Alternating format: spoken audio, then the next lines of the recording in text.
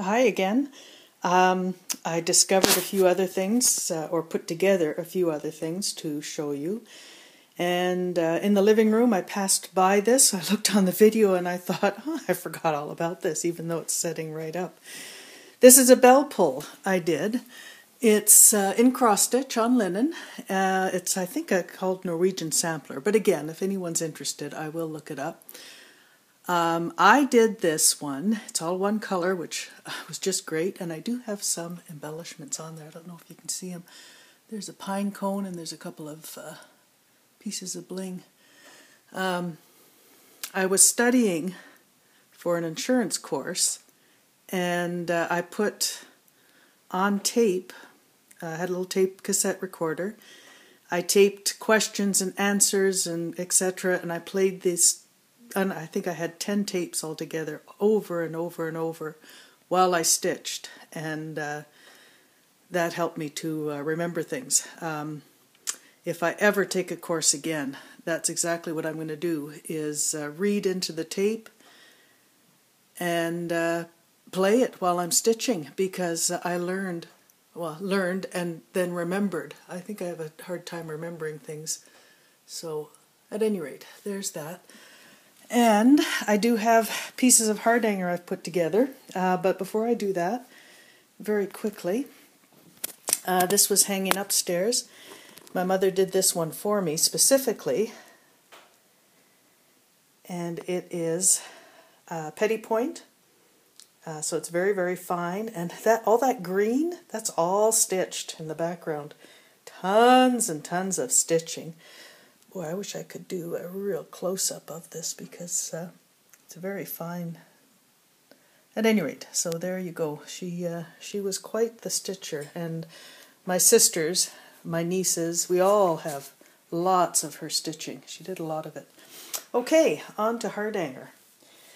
Um, this piece of weaving that you see on the uh, video right now is, uh, I believe, Pennsylvania, and it's uh, hand woven um, which I purchased down there. So I quite like I like anything hand done.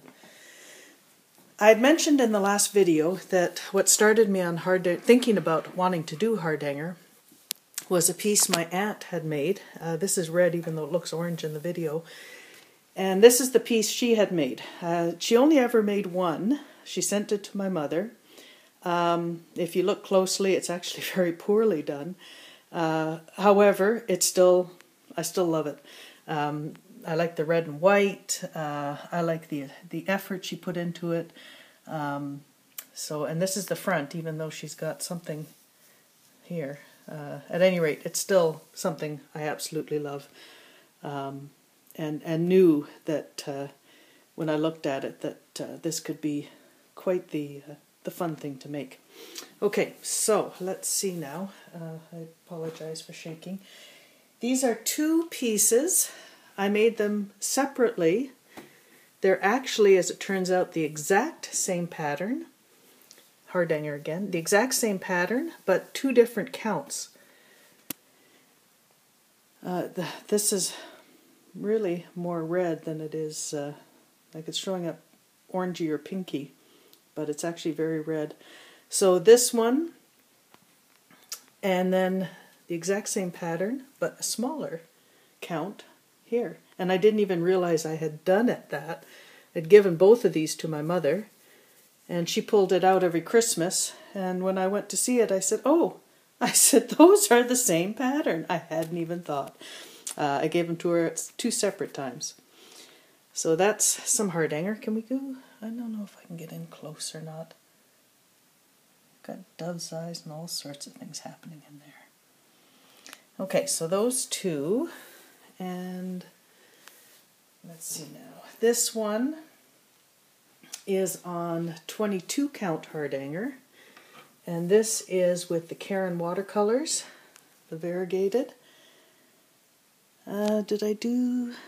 I did the even the um, weaving, the eyelets and the needle weaving. I did in uh, Caron water um, water lilies, I think if I remember right. Um, so that's a 22 count hardanger, or yeah, 22 count hardanger, 22 count cloth.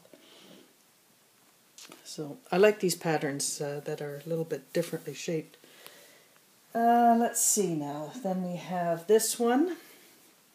This is the second time I made this. The first one I made was in uh, a couple of green colors, and I made it for my son's babysitter. So then I loved it so much I decided to make myself one. I chose different colors this time, more the ecru and the off whites and beiges, although I did love the greens too. Um, so there's that. Again, I don't know if we can try to get close here. Someone was saying the dove's eyes. They really didn't like the dove's eyes. I don't know if they ever turn out perfect, but just do them and nobody looks that closely. Well, except for us stitchers, but no matter what, what it turns out, like we still admire it. So there's that one. Um, and then I have this one. So these last two I had made in the last few years. Most of the stuff before that has been given away. Uh, but this one I decided that's it. I'm keeping a big one for myself because I have given away big ones before. And this one I kept for myself. It's been folded and put away, and that's why uh, it's a little bit still wrinkled. It'll have to be taken care of next time I pull it out. But there you go. This is this is what I've been doing. Um, absolutely love Hardanger. Uh, well, and cross stitch too. So there we go. And um, there are a couple other little things, so I will show them to you. This one's fairly big. I'll put my hand in there to see see what size it is.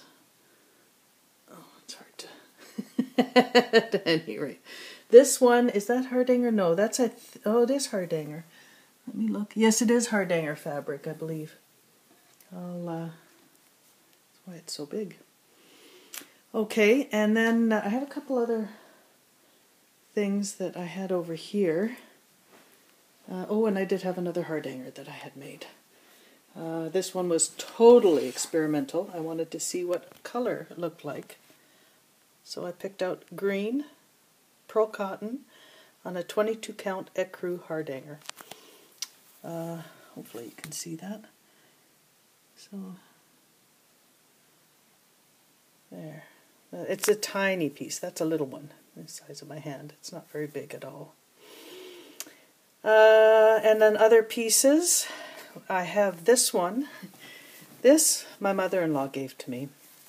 It's a tablecloth, a small square tablecloth. It looks like, oh, I think this is, hang on a second. It looks like a type of Swedish weaving. I don't completely know exactly what it is. It is hand done. Um, my mother-in-law didn't quite know the history of it, but she thinks it was her aunt or her great aunt who stitched this and uh, this person, I believe, was a nun, although I'm not sure. So the history is a little bit uncertain of this one, but it's just beautiful. Very intricate stitching, very, very, very intricate stitching, but all hand done. Um, and it is a it's a small square tablecloth, so the whole thing is outlined in that. So that's another one.